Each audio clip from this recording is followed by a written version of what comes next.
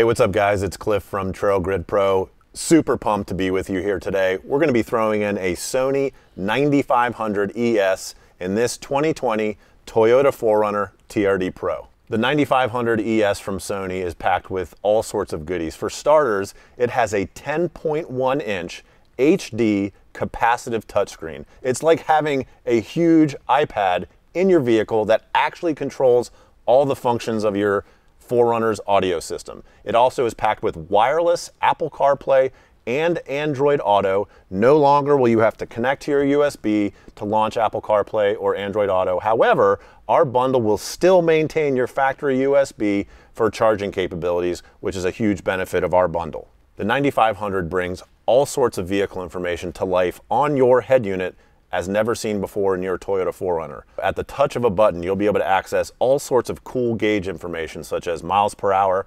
RPM, and your vehicle load.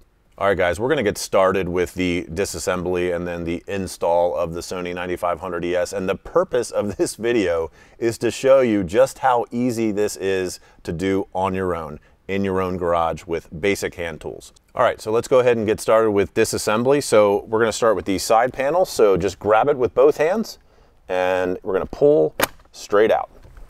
And you can just set that on the ground. And then the other side, again, same thing. Both hands wrapped around it, pull straight out. Next, we're moving to the HVAC column, and actually this again just pulls straight out just like that. Underneath, there's one connector right here, which we just need to pull out. And we can put the HVAC column aside. Next, we have four 10 millimeter bolts underneath the radio. There's two on each side. Now, when you pull these bolts out, make sure to put them in your front cup holder because we're gonna need those for the reassembly of the Sony 9500 Okay, so now we're ready to remove the head unit, but before you do that, go ahead and throw a microfiber on your shift knob because when we pull the head unit out while we're removing all the connectors, you can actually rest the head unit on your shift knob, makes it a little bit easier. So what we're gonna do, the easiest way to remove this is to top and bottom of the head unit, just have pressure pulling out toward you and do one side at a time. Okay, so we've got one side out and now move to the other and same thing, pull straight out. Okay, so at this point, everything is removed. So push yourself up to the front of your seat and pull this out gently, okay? And let it sit, there we go, on the shift knob. All right, so now that we have the head unit out, we're literally just gonna be removing all of the connectors in the back of the head unit. So you can just do that one at a time. Some of the connectors are, are, a little tricky to get out, so it helps to have a small flathead screwdriver so that you can depress the tab.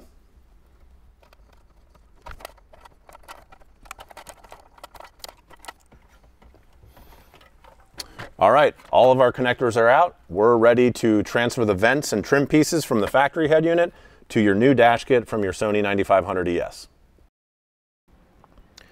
All right, we have the factory head unit over here on the bench and we're gonna remove a couple things. We're gonna need this top trim piece. We're gonna need to remove the vents and the hazard button. So let's get started with that. All right, so we're gonna start by removing this top trim piece. There's two Phillips head screws, one on this side and one on this side. So let's start removing those. Got that one removed and this trim piece just pulls right out. So we can put that to the side.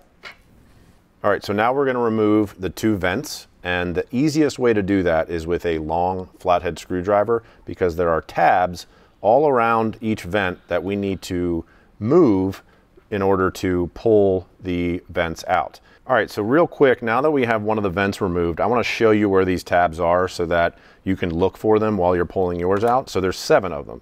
So there's one here, and again, we're pushing them to the side while you're pulling up with gentle pressure on the vent to try to remove it. Here's the second one. Here's the third one. Four, five, six, and seven. So again, I'm moving the tabs, pulling up with gentle pressure, trying to get it to start disconnecting, which I can start to feel. Again, moving them one at a time, trying to get that gentle pressure. Oh, there we go, I can start to feel it come out. All right, let's start over here. There we go. Ah, now we're starting to come out. There we go. And again, not pulling hard, just gentle pressure.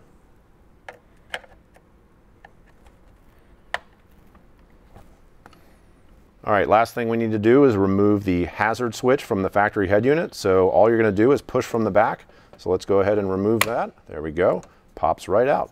Okay, so at this point, now that we've removed all the pieces from the factory head unit that we need, it's nice to do a little part check to make sure you have everything that you'll need to transfer to the new dash kit, which will come with your Sony 9500 ES kit. So we've got both vents, we've got a hazard trim piece, and this is gonna come in your kit from us. We've got the vent switches here, which come in our kit as well. You will no longer have to remove those from the factory kit. We've got your hazard button here. We've got the dash kit clips here and extra screws and then the trim piece from the top right here. So that's everything that we'll need to transfer to the new dash kit, and right now we're gonna show you how to do that. All right, so we have the top trim piece from the factory head unit, which we're just going to push into position on the new dash kit. All right. And we're gonna use our screws that we took out from the factory head unit to put back into place here. All right, got that in place. Then we're going to flip the dash kit over and we're going to put into position our vent controller trim pieces.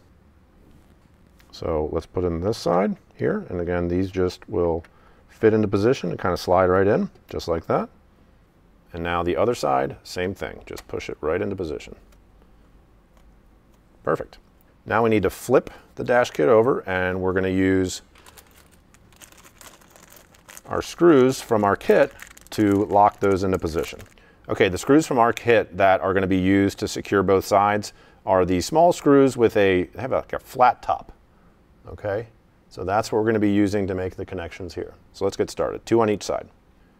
All right, so as you get in the first one on each side, you will have to hold pressure on the trim piece from the other side to make sure it doesn't fall out of position.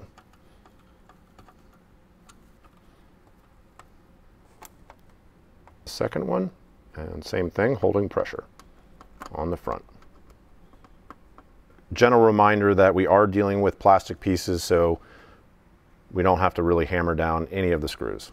All right, so now it's time to put our vents in the new dash kit, and actually the vents have left hand, right hand notifications on them so you know which is which. So let's get started with the right side. And these will just snap into position. And the second, again, will just snap into position. Okay, there we go. Both vents in. So now we're gonna put in the yellow clips from our kit and they just go right over the mounting points here on each side. There's four of them. And one right back here. Okay, just a couple more things. We're gonna put in our hazard trim piece. And again, that this piece is gonna come in your kit.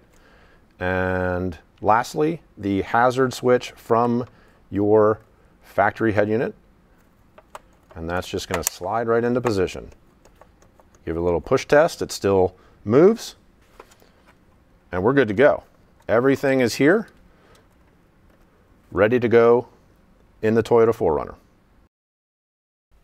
All right, guys, it's go time. It's time to put in the Sony 9500 ES in your Toyota 4Runner. Now, you may have noticed with this bundle, of course, the screen, the huge 10.1 inch HD touchscreen is gonna come detached from the body of the bundle. That's by design. We're gonna put in the body of the bundle first, then we're gonna put over the dash kit, and then we're gonna put the screen on top. So for starters, let's pull out the microfiber and put it back over our shift knob because we're gonna rest our new bundle on that while we're making our connections. So let's get started with that.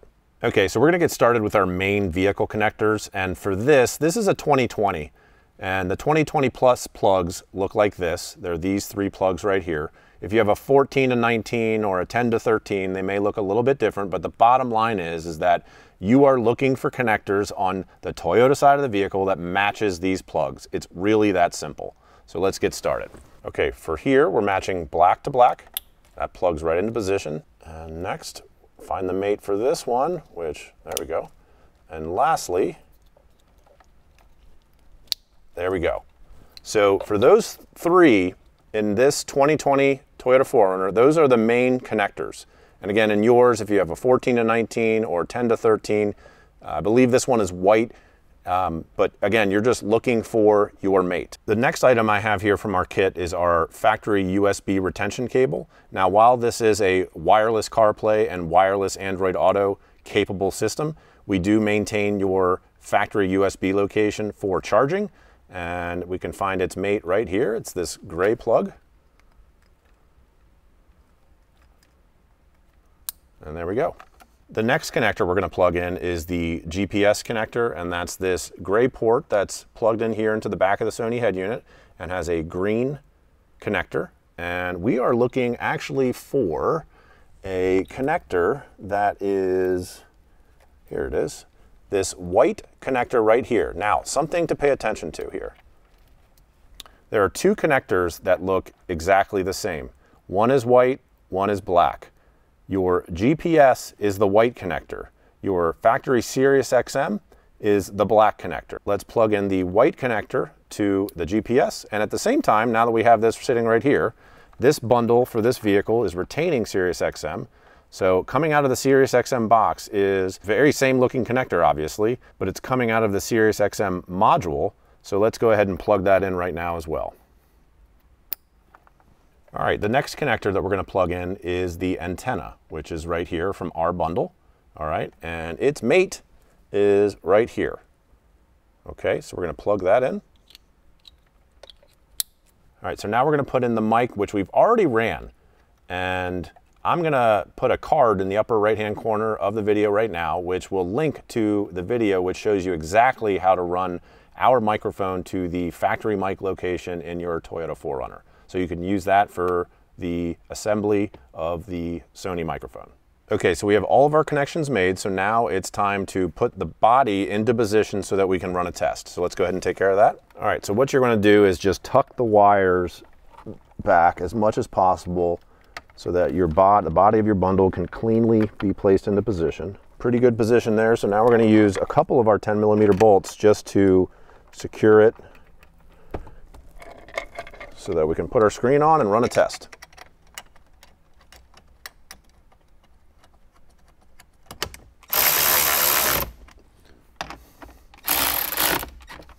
All right, so now we've got the beautiful Sony 9500 ES screen right here, which for our test, we're just gonna put right into position here. All right, now that we have the screen completely into position, push it all the way back. We can fire up accessory power. Make sure that our system starts up. Boom, there it is. Beautiful. Starts right up. Awesome. So we got that there. All right, everything is loaded there. Let's make sure steering wheel controls work. So I've got volume working. Perfect. Let's go ahead and turn on the radio.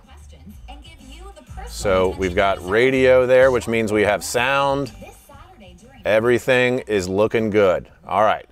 So good first test. Let's go ahead and continue with the installation. All right, now that we've run through our test and everything was perfect, let's go ahead and finish with our 10 millimeter bolts. So we've got two more here in the cup holder. We'll do one at a time. Okay, the body is secure. And now what we wanna do before we put the dash cover on is leave the hazard switch here accessible on the top, which I've got right here because we're gonna be plugging that in to the dash kit as we put it into position. All right, just slide yourself up on the seat here. Let's plug this hazard switch in. All right, got that in. Now we're just gonna put our dash cover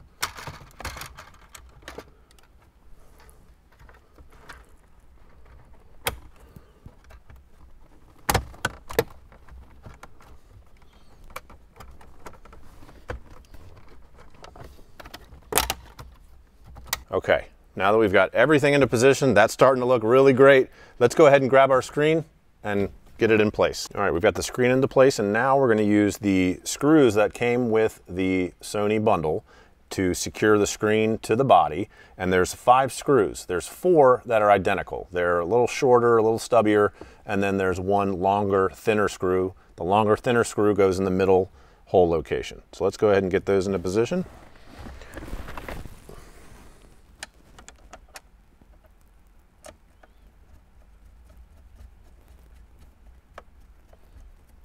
Again, here a longer Phillips head that is magnetic is a must.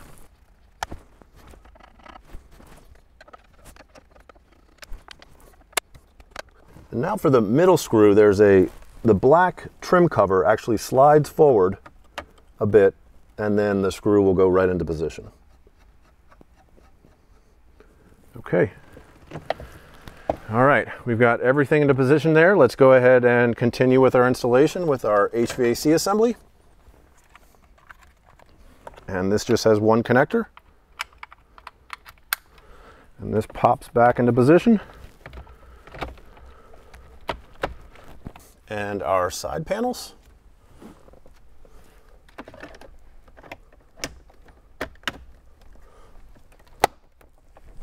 And our last side panel.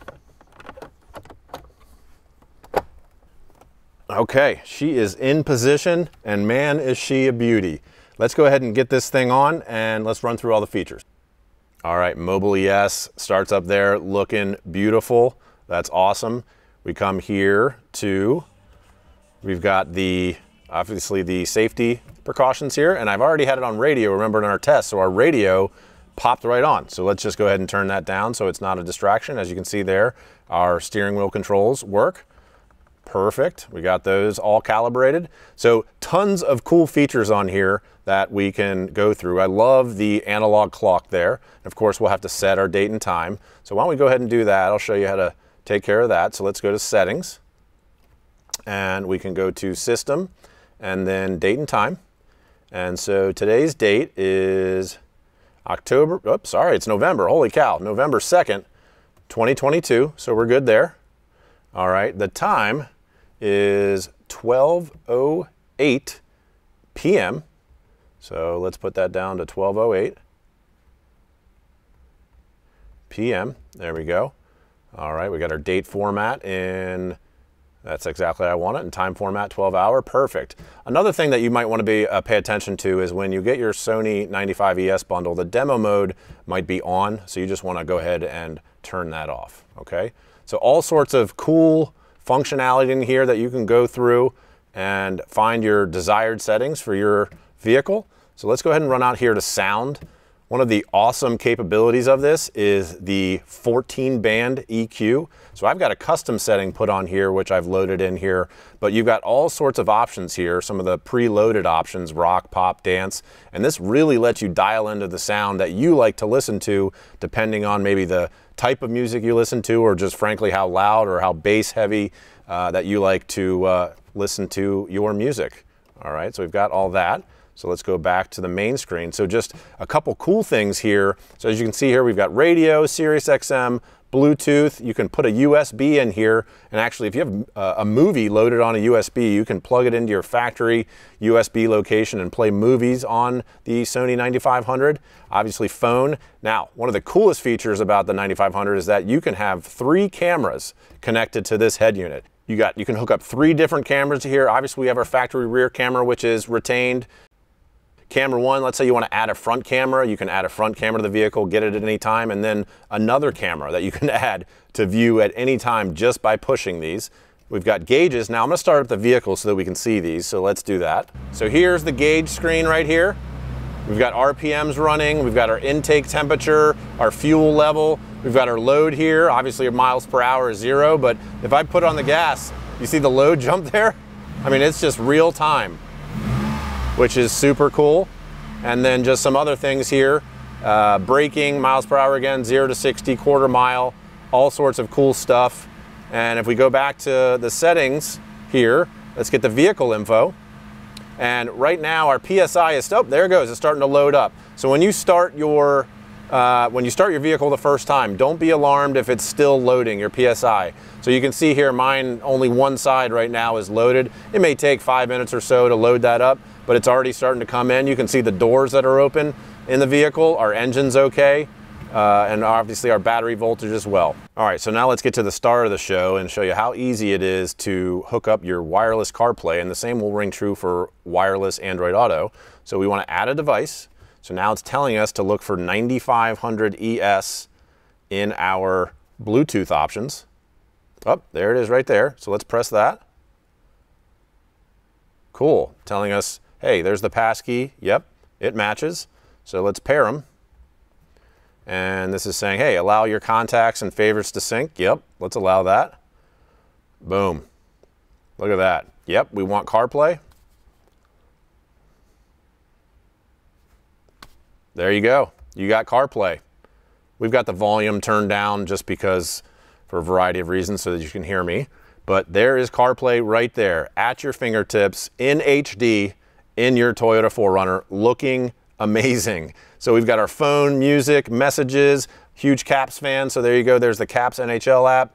We've got our now playing calendar, all sorts of awesome Apple CarPlay compatible apps will show on your 9500 ES in your Toyota 4Runner. It's that easy to launch. Now, every time that you get in your vehicle, it will connect automatically to CarPlay or Android Auto. Nothing you have to do to connect. And as a reminder, the factory USB location under your head unit can still be used for charging. Okay, so you can expect this complete install to take you about an hour and a half from start to finish. Just follow this video. This is applicable to any 2010 all the way up to 2023 Toyota 4Runner. This bundle comes in a silver dash or a charcoal dash as you see here. Again, we also have it available in silver. I've gotten a lot of questions about the screen positioning of this bundle and actually there are a lot of different positions that you can put the screen in when you receive your bundle. This is just the position that I've found that I like the best. And this is how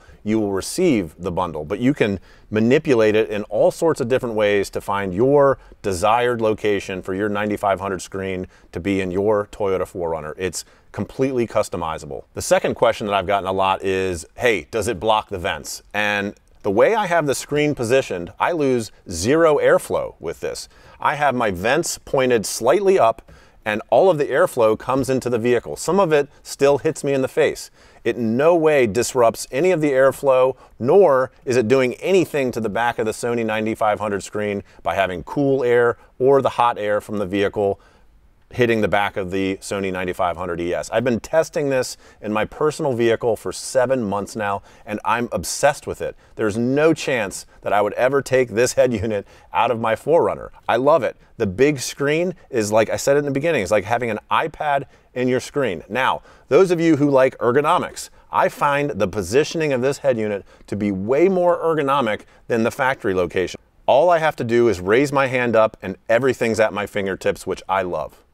The third question I get a lot is, is the audio in my Toyota 4Runner going to improve with the Sony 9500 ES? Well, first of all, the answer is yes. And actually, with any of our Sony bundles, the audio in your 4Runner, Tacoma, or Tundra is going to improve. And that's for a couple easy reasons. One, our Sony bundles have more power than the factory head unit. And the second reason is that Sony has really dialed in the sound signal that they send out of their receivers to the speakers so you can expect a louder and more clear audio experience in your 4Runner. All right, guys, well, that wraps this up. Thanks so much for watching. This 9500 ES bundle is available now in the TrailGrid Pro shop, both in a charcoal dash, as we have in this video, and a silver dash, and it's ready for 2010 all the way up to 2023 Toyota 4Runners. The entire fifth gen range is available to be purchased, again, in the TrailGrid Pro shop. If you have any questions, leave it below or hit us up at www.trailgridpro.com. And as always, guys, have a blast out there.